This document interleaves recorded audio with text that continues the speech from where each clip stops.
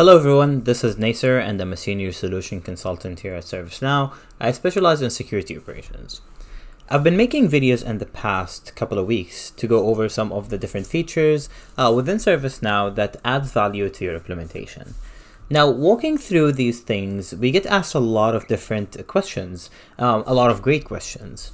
And when we are having a conversation with a customer, we want to actually demonstrate how easy it is uh, to do the different uh, features that is going to add value to their operations. Now, before I get started and talk about our topic for today, uh, if you don't mind, I'm just going to quickly pull up my email uh, because I just wanted to check some of the different emails that I received. Um, I was just busy the past week going to uh, our amazing su successful SKO and didn't have the time to check my inbox. So let's go ahead and pull up my inbox over here. This uh, looks like a very urgent uh, message coming from um, individual that sounds very familiar. I've actually worked with a Nasser here at ServiceNow before and he was great at his job. So it must be a trustworthy email. Um, we can see it even has the external email um, here. Uh, this is very weird given that it is signed to be from ServiceNow. So I wonder how did that come to be uh, we can see that I'm being asked here to provide my social security number uh, to be able to receive my W-2 form. Uh, it is signed from the new employee in HR. Um, now, this is obviously a failed attempt at simulating what a phishing email would look like. Uh, but why I wanted to bring out this email is to show you how we can basically click on report phish here uh, as the user who received this email, who suspected it to be um, a phishing email and did the right thing of reporting it. Um, and the view of the actual security analyst who is working on the uh, different security incidents that they are receiving, who are utilizing ServiceNow instances for that. I know that here at ServiceNow internally, uh, we drink our own champagne and we utilize security incident response module. Uh, so the user will probably receive something or work on something very similar to what you're seeing right now. This is the security incident workbench where basically they get to see all of the different security incidents within their queue. If they open it up, they would be able to see the actual security incident and all of the different details within that security incident. So the uh, individual on our security team is going to basically receive an incident very similar to this. Rather than having um, the name here be not my name, uh, that will be changed on the actual incident uh, that I submit to reflect my uh, name. Uh, it will also capture a lot of information that we're not seeing on the screen right now. So for example, if we scroll down, uh, we can see the threat lookup results automatically captured from the email, like the IP address, if there are any attachment hashes, um, the domain, all of this is automatically pulled out from the email. And we can, what we can also notice here is that the system automatically categorized this as a phishing attempt, and it indicated that the source of how we received this incident uh, on our instance was through an email. Another thing that we can do or have automatically done for us is the ability to associate an appropriate playbook to the incident that we've received. So there is a workflow on the back end that automatically recognizes that this is a phishing category. We have a phishing playbook. So let's put one and one together and let's give the analyst the appropriate steps needed to remediate the security incident at hand.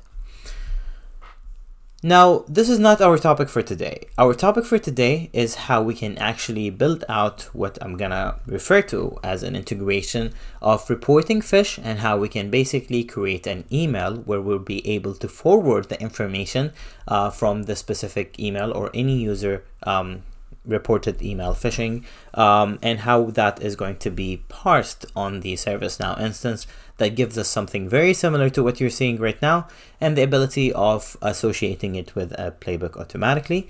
And in later stages, we will probably cover how we can create different playbooks and how we can specify what different steps and tasks go within the different playbooks. Now let's go ahead and get started. Now, the first step that is required for you to do would be to actually create the email on which we're going to be forwarding the uh, phishing attempt uh, to. So this is something that you'd have to do on your own outside of the ServiceNow platform. Um, you can utilize your own domain, you can use a Gmail, Hotmail, it really doesn't matter, um, as long as you have an email where we can forward the phishing incident to. So if you have that email ready, and for the sake of today, uh, I'm gonna create a hypothetical email called security at servicenow.com where I'm going to be using to basically forward specific incidents to. Um, we're gonna go ahead and navigate to the filter navigator and look for email processing. What we are going to do is create an ingestion rule. So I'm gonna go ahead to the ingestion rules and I'm gonna create a new one you can name it whatever you want. Um, if maybe you want to create one for security incidents, if you maybe want to create another one for um, phishing campaigns, or if you want to create another one for ITSM, uh, that is all possible. Um, or you can have a bunch of different emails really. But today we just want to do to rule. Uh, you can name it whatever naming convention you want. Um, order doesn't matter. Um, it matters if you have a bunch of different um, emails, but in the case of today's example, I'm just going to keep it the same. Um, I want this to be 2 and is security. Let's add phishing. Hmm. At servicenow.com. I can save update. And now as you can see, we have the new created ingestion rule, which is basically uh, every time we forward an email to this specific email, um, a new incident ticket should be created. Uh, but let's go ahead and jump into the next step to actually understand um, what information we're going to be capturing from the email. So what are the information that we are capturing from these emails that we're forwarding to securityphishing at servicenow.com? To specify that, um, again, we navigate to email processing. Um, this time we're going to go to the user reported phishing properties. And as you can see here, um, I'm being told that this record is a security support common application, but I'm currently in global. I'm going to go ahead and switch that to um, the specific uh, scoped application. And then I can specify or identify the start of the email header content and the end of the email header content. Uh, this way I'm telling the platform exactly what information I want to capture. Um, we also have the option of creating a child incident um, on a security incident because it is a phishing attempt. Um, this is optional depending on how you want to implement, so it's a yes or no. Uh, display phishing email content in HTML format, that is also a matter of preference. Um, so I'd leave it to that. So we, what we can also do is we create um, comma separated list of email headers to be stored. Uh, if no value is specified, all the email headers are stored. Um, so again, this is a matter of preference. This is a, where you go to just uh, specify what information is going to be captured from the email. So what is happening now? What happens after we capture the email and we register what is its header and when it ends and all of that? Um, you're gonna hate me for saying this, but we're gonna rely on the ServiceNow magic. Uh, ServiceNow magic means that we are gonna be utilizing a workflow. So let me take you a step back. Um, as soon as we do, um, or we forward the email to the email that we've created, we ingest the information from it. The first step is that an email record is going to be created in the sys underscore email table. The second thing is that we're going to create the phishing email um, inbound action runs. So the inbound action that we've created is gonna run. Third thing is that when it's been identified as a phishing email, that phishing email record is gonna be created in the sn underscore si underscore phishing underscore email. Um, this is all boring. Where is the ServiceNow magic in all of this? So the ServiceNow, ServiceNow magic is going to be within the Flow Designer. Um, if we navigate to all and just type the word flow designer. It's under process um, automation.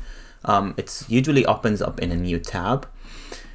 If we go into all of the flows that we have and look for a flow called transform, here we go. So out of the box, we actually provide a bunch of different uh, workflows. You can see that this is the one that is currently active. So what is that specific workflow and what does it do? What it does is that it basically looks for the email that we've ingested and looks for all of the information within that email uh, that are going to be created within the security incident record. So we can actually actually specify what information we want to capture from that email and what information we want to modify. Um, if there is maybe another naming convention to one of the um, fields in our record, we can um, do all of that from here. This is again out of the box, so I'm not gonna go into greater details of what happens here, uh, but you can just go through it and modify whatever needs to be modified to align with your own organization objective, um, or you can add information or remove information. Let's go ahead and do a quick recap. What you're looking at right now is the security incident that was created um, utilizing the flow that we have out of the box to transform phishing email records to a security incident record. So what started as, as a fish email, if we open this, we can actually uh, navigate to that specific record.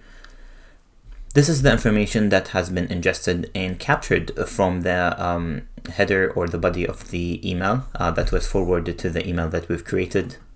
This is the security incident that is uh, transformed through the flow. From that record, we can notice some of the information was imported from the um, email itself. Um, other information was imported from other parts of the platform. Like for example, the risk score here could have been calculated either through the CMDB or through the severity of the email, or if uh, some of the threat intelligence information in that email uh, were scanned through a third party and were flagged as a malicious email, this could also affect the risk score. Um, the incident details, all of that is captured from the body of the email. We can see all of the activities. This is just a basic ServiceNow um, feature. And scrolling down, we can see all of the information that is normally associated with a security incident.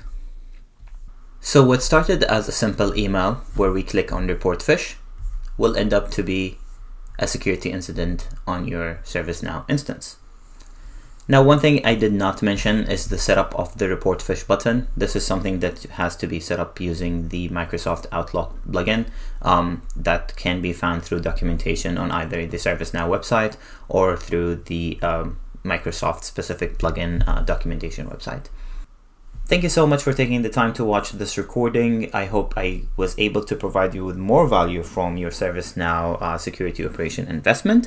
And I look forward to seeing you on future ServiceNow recordings. Have a great rest of your day.